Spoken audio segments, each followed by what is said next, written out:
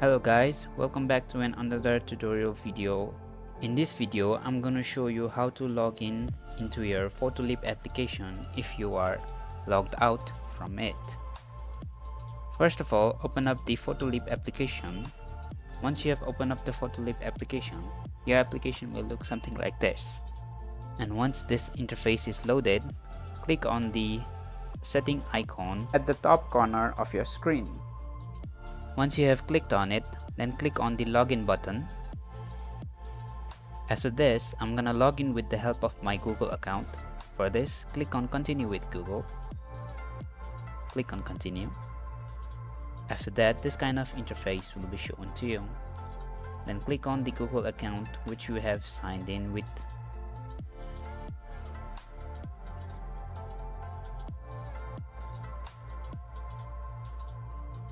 and there you go guys. That is how you log into your Photoleap application if you have signed out from it.